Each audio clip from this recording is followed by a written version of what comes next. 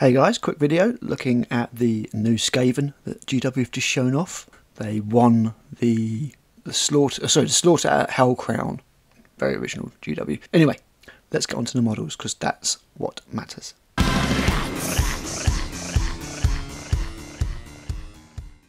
Vizzik Skour. Okay, crap name. Nice model. It's nice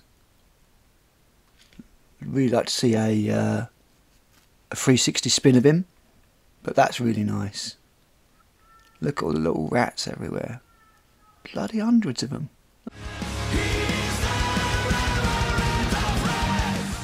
That's beautiful. That's a really, really nice piece. Not sure who did that one, but bravo. Oh, here we go. We've got some more details.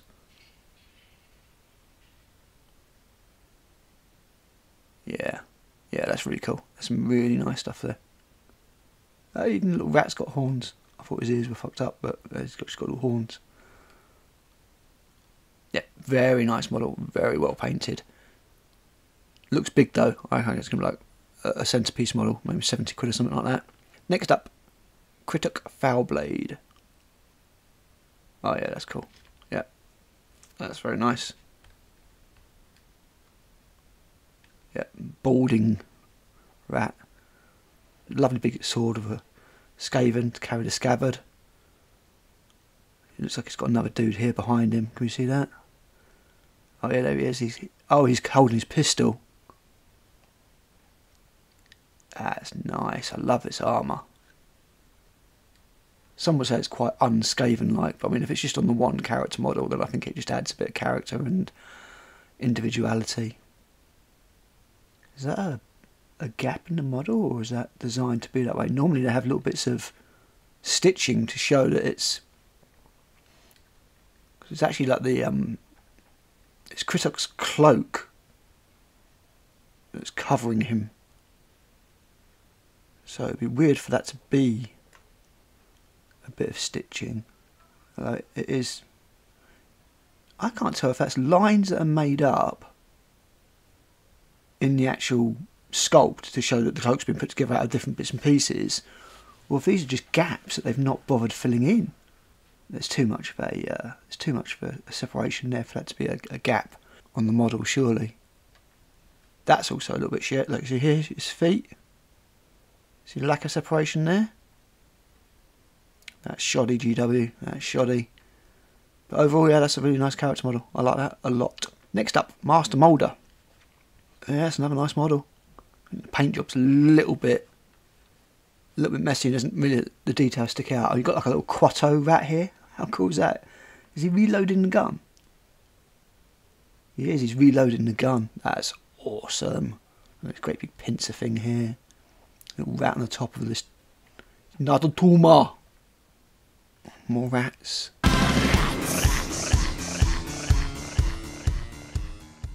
These are all really nice. I mean, I know these character models are going to be about 20, you know, the, the, wrong side of 20 quid each, but they look like lovely little painting projects. Storm Vermin. We've got new clan rats. Makes sense to get new Storm Vermin. Let's have a look. Yeah, they're not bad. They look nice. Yeah, nicely posed. Much more dynamic than the old ones.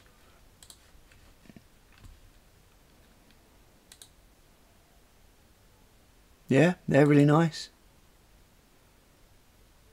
Really nice. Yeah, now we've got rid of Skaven Slaves. I guess these are just like the... You've got your clan matches, your basic tier, and then these are just the, the first level elites here. So 10 in a box by looks of things. That's going to that's going to easily be 40 quid. But, you know, they are nice models. They are nice models. Skaven are looking really good. You old, you old world players, provided you can scale them correctly enough. From what I remember, these Skaven did look pretty small, so I think they will fit with old world. Maybe even designed for that purpose. You guys looking like you're sitting pretty. I mean, they even look like they rank up, to be honest, to a point. If you put on big enough bases. Arch Warlock. You mean Ikit Claw. That's Ikit Claw, isn't it? Yeah, that's also really nice. Again, GW just not quite nailing the separations here, in my opinion. See here where the hand meets the, the gun. There should be more more shadow or something there, but better painters than I am.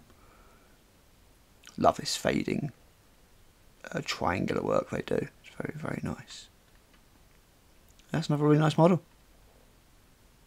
Not so much to say about this time. I mean, it really does remind me of Ikit Claw, but yeah, it's nice.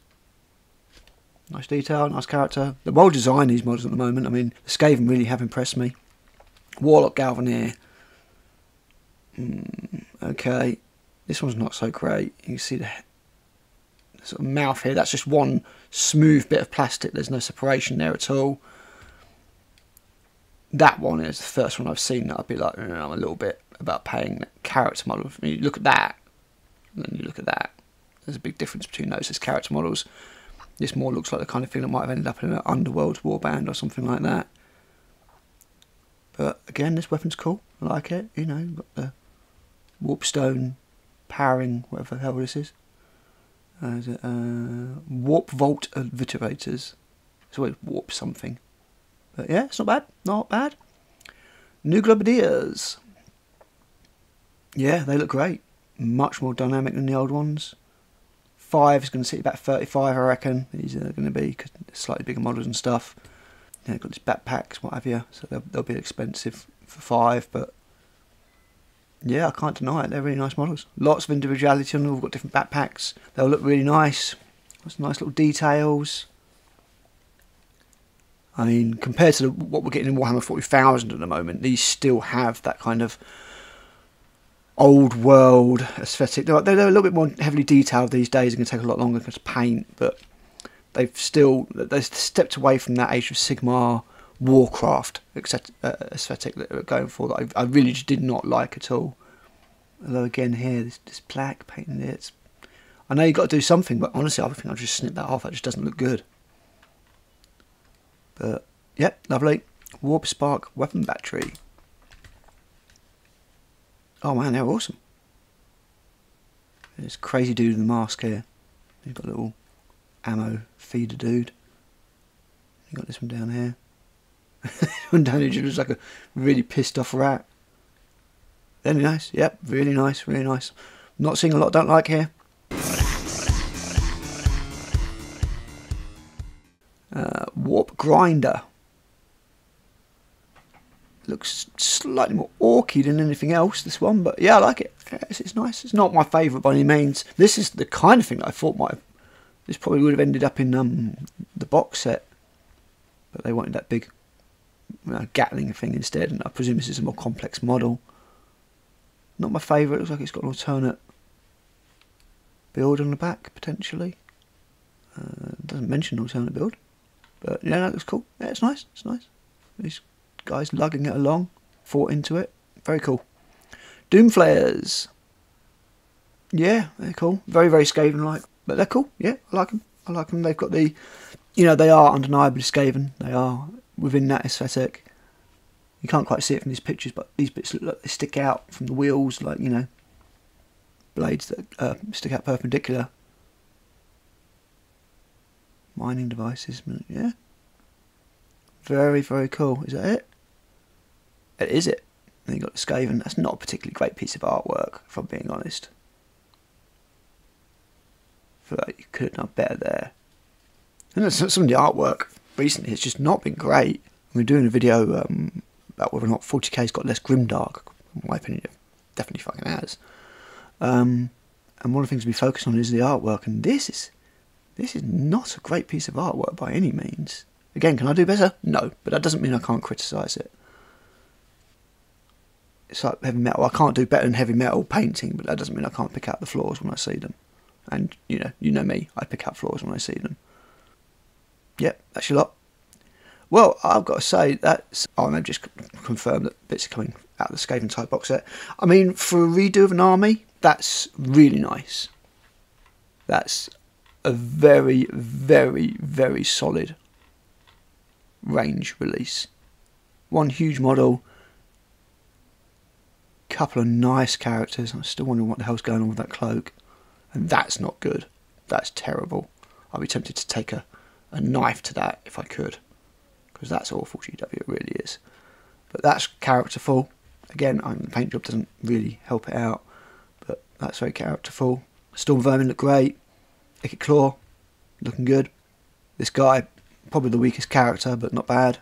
Globadiers, Yep, they're lovely. Really like the Warp Spark, uh, Warp Spark weapon batteries. Warp Grinder, mm, it's alright. And these boys, Doom Flayers, all very, very cool. This is all mighty fine work, in my opinion. All these 3D print lines here. See that was some clever stippling. Could be some clever stippling there. But we know that GW paint up 3D prints as proofs. We've seen we've seen the lines GW. You can't hide them. Yep. All in all, that is a, a lovely collection of rats. So that's just a super quick video. Um, just me going through the new releases, um, bitching about stuff, and overall, I think they're really nice. I think they're really nice. I think this is a really, really nice range. And um, if you play Skaven, uh, I think you should be very, very excited because these are lovely models. Right, I'm going for now, and I'll be back with Matt soon.